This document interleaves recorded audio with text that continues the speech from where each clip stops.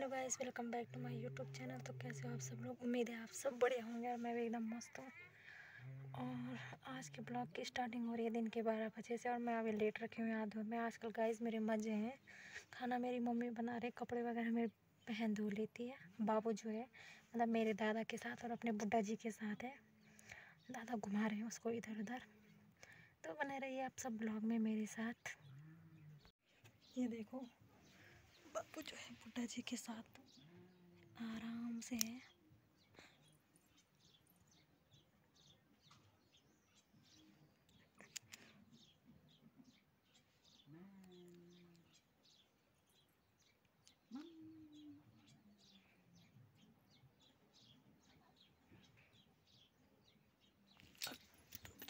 सुंदर से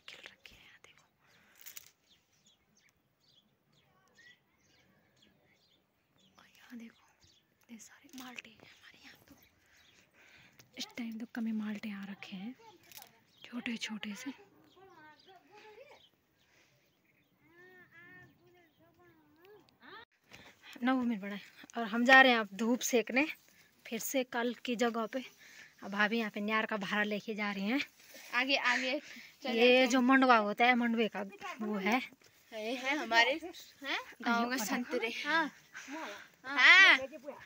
हाँ हाँ। भट्टी बैजी बोले भी ना। भेजी बल बोले नहीं अच्छा।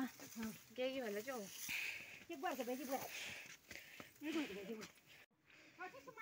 देवरानी जी ठानी है। ये देखो। फिर से माल्टे का थैला लेके आ गया। इस पर होर के लाया जो? पातला भी लाया?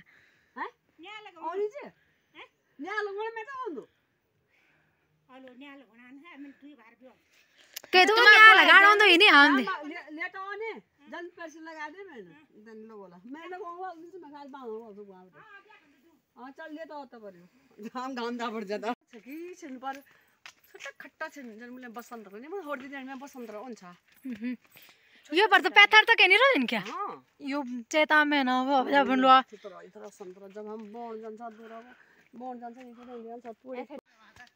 दूसरे भाई। दोनों गुड्डी भाभी हैं। दोनों गुड्डी भाभी हैं।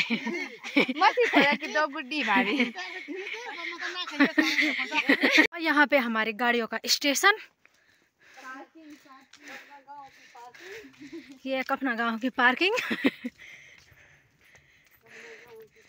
ये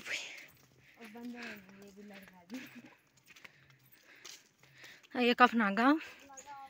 पहले तो हम बहुत दूर दूर, बहुत दूर थी सड़क। वहाँ वहाँ जाते थे, वहाँ जाते थे, जहाँ से मैं जूम करके दिखा रही हूँ।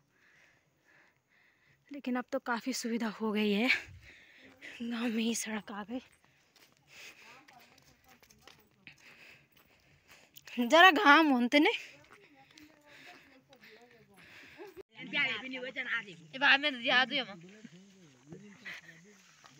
गाइस नहीं मिले हाँ हाँ तुम तो वीडियो बनाओ मैं वीडियो। मैं भात मैं बढेल छु।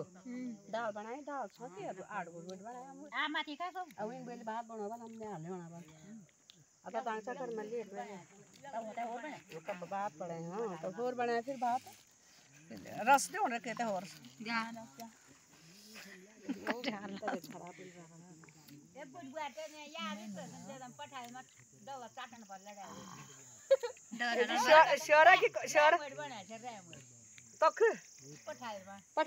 हाँ रस रस पिलो निम्बु पानी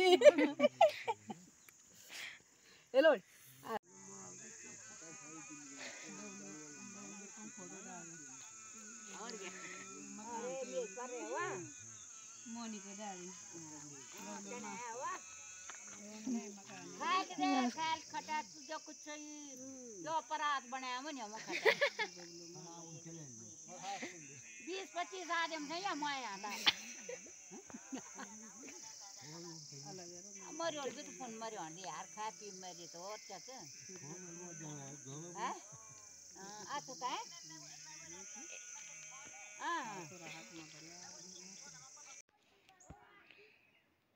ये है कफनगा वाणी बहुत सुंदर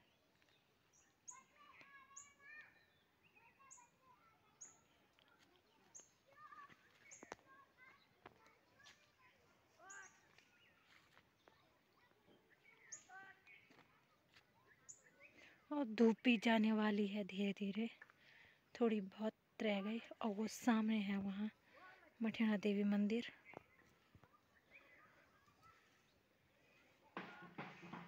चलो, बंदर भी आ गए हैं।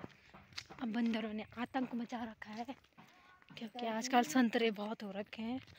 और ये संतरे खाने के लिए आ रहे हैं। और हमारे यहाँ तो पूरा बांझ ही बांझ है, यहाँ बांझ का ही जंगल है। चीड़ के पेड़ तो इक्के दुक्के दिखेंगे।